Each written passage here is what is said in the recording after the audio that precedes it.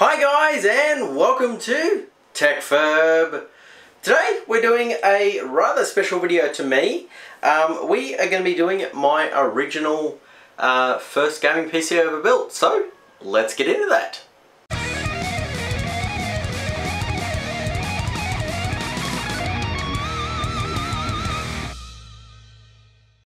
So uh, first gaming PC I ever built um, is not as old as some people would think. I'm not 40 years old, I'm actually 26. Um, so for me, the first gaming computer I built was back in uh, 2008. It was in 2008, so we're looking at just over 10 years ago. Um, and it was very late in 2008 as well. Uh, it was in December when I got it. Um, so the parts I went with at the time uh, was dictated by a budget of $1,000. Um, that had to include a screen, FYI, and also Microsoft Windows in the cost because, yeah, that's the way it was back then. Um, and so the parts that I got, um, we'll start with the CPU. The CPU I have here is not 100% the same. It's very close in performance, that's why I picked it. Uh, I actually had a Pentium dual core uh, E5200. Um, now that was actually a cut down version of a Core 2 Duo back then. Um, the difference was it had 3 megabytes of uh, L2 cache instead of 6 megabytes like the full blown Core 2 Duos. Um, and it was clocked at uh, 2.5 gigahertz. Now the one I have here is an E6500 uh, and this one is clocked at 2.393 gigahertz so it's a bit of a bump um, but I think uh, the front side bus is a little bit higher. So I had a 200 megahertz front side bus. This one has 266 megahertz front side bus. So there's a bit of a difference in um, the chip, but the relative performance is going to be about the same. Uh, so um, that was the CPU. Now the motherboard I actually went with back then was a budget low end. This was like the, the, the H310 of the time, or if you're an AMD person, the um, I want to say A320, um, but the difference was it had overclocking also. The B, B310 doesn't uh, have overclocking. So it was a Gigabyte G31M-S2L. Um, was a fantastic motherboard for the time. Uh, it was like a hundred and something dollars. It took my dual core chip. You can actually put quad core chips on it. Um, the VRM was pretty, yeah, so I wouldn't be putting quad core chips on it if you wanted to overclock. Um, but with my Pentium dual core, I managed to overclock from the stock frequency of 2.5 right up to 3.75 um, in Australia in the middle of summer when it's hot. Uh, so it was a damn good chip. It overclocked like absolute snot. Um, it was very different back then. You bought the budget chip, you overclocked the snot out of it, you got the performance of the higher end chips that cost a lot more money. Now, um, that's the motherboard, that's the CPU. RAM, I actually only had a single uh, 2 gigabyte DDR2 stick. Um, I didn't understand the whole concept of dual channel back then because again this was my first gaming computer. Um, I should have probably went with um, two 1 gigabyte sticks but the single one, uh, the single 2 gigabyte stick was fine and I was able to upgrade it later to 4 gig. But that's a story for another day. Uh, and so that's RAM. And then for graphics card, I had a GeForce 9500 GT. Um, was a great graphics card. Uh, it required no external 6-pin power. Um, so it could use like a dodgy power supply and a dodgy power supply I used. Um, so for reference, this is actually a 512 megabyte uh, VRAM graphics card. I think it's GDDR3 from memory. I could be wrong, but I'm pretty sure it's GDR, GDDR3. Um, and the power supply, this is not the exact power supply. Back then it was like a 400 watt.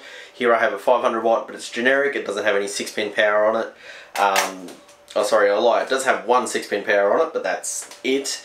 Uh, as for the storage, I only had a single 1 terabyte drive, which was quite large for the time. Um, I had that because I just wanted to get as big a storage as I could possibly get. Um, and this, is, again, is not the exact same case, but for intensive purposes, it's pretty close to the original case I had because it was a generic case that came with the generic power supply. Um, so that was it. The, the system cost me $1,000 back then, um, which was a lot of money. It took me like six months of working in my after school job because I was still in school and 15 at the time. Um, and I saved up six months. I bought all the parts. It was quite awesome. Uh, and you know what? It was actually pretty good for the time.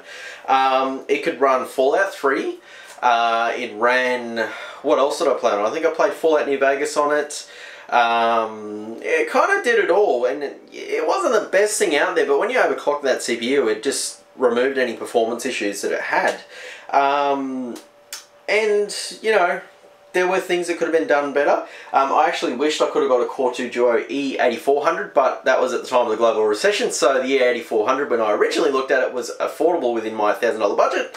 And it GFC hit, and yeah, that didn't happen because the um, CPU doubled in price, and I was stuck with a little Pentium dual core. Uh, so that's the story behind the story. Let's get this thing built, and uh, we're gonna put I haven't decided if I'm going to put the original OS or Windows 7 on it because I did eventually go to Windows 7 when it came out. Um, but I did actually have Windows Vista on this system. But uh, Vista doesn't work very well with Steam and I don't have my original game list so I think I'm going to probably have to go with Windows 7. But let's build it first and then we will cross that bridge.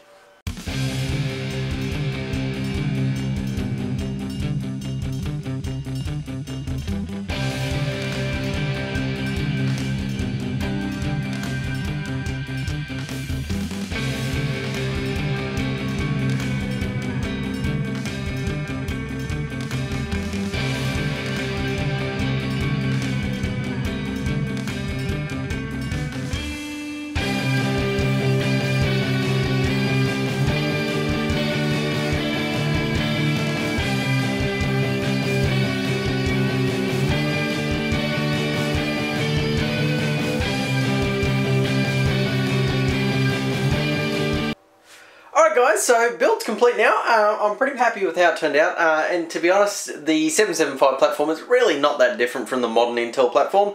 Um, the socket style is pretty much the same, the RAM slots are pretty much the same, graphics cards are still PCIe.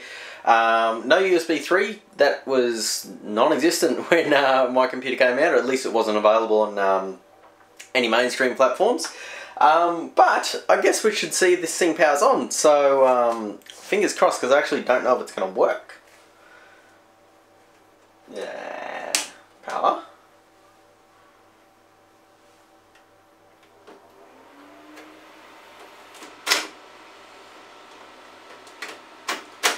That's a good sign.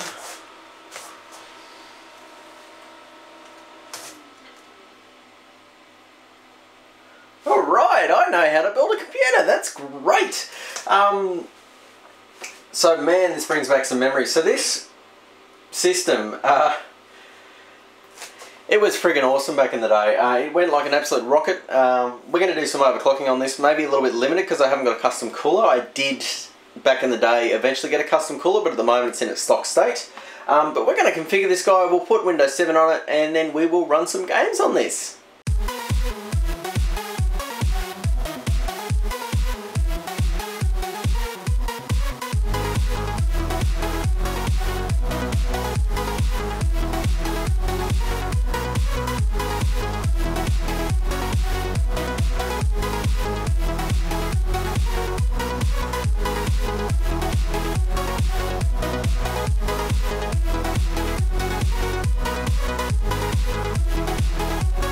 Alright guys, so setup's finished now. Uh, Windows is installed. Uh, Service Pack 1 is on there because you have to put Service Pack 1 on Windows 7.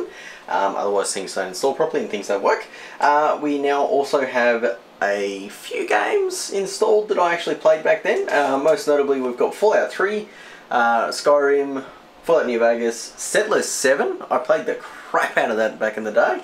Um, and also put Assassin's Creed on there, as uh, sorry, Assassin's Creed 2 on there. Um, all these bring back happy new memories, and what doesn't bring back happy memories is not realizing how, well, sorry, is, is realizing how crap computers were back then, because it's really slow.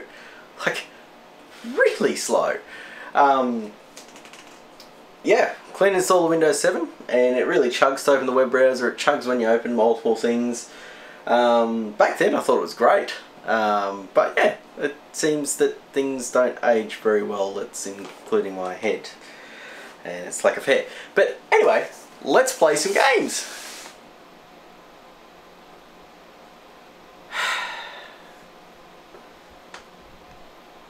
So, true to any old PC build I do, this shit happens. Look at that. Fallout 3 has stopped working. I played for 5 minutes and the damn thing crashed. Um, so, yeah. I think uh, that kind of tells me everything I need to know about memory lane. Um, I remember this being a lot better back then, but uh, looks like 10 years doesn't help. So I'm going to leave it there, guys. I don't want to drag this video out for too long. Um, thanks for watching. I uh, thoroughly enjoyed rebuilding my old computer and uh, I will thoroughly enjoy tearing it apart and just remembering it as a great thing from the past and never doing it again. Uh, so thanks for watching guys, leave a like if you liked it, leave a dislike if you disliked it, get subscribed if you want to keep following me and getting more videos. Uh, check out the Discord server, I have the link down in the video description. Um, you can jump on there, ask me questions and also you know ask other people in there questions. Um, it's a great little community that's growing uh, and uh, what else, we've also got social media stuff down there, the Facebooks, the Twitters, the Instagrams, all that socials crap that people use that I don't really use that much, but other people use it, so I have to use it. Uh, and yeah, thanks for watching guys, and I'll catch you in the next video.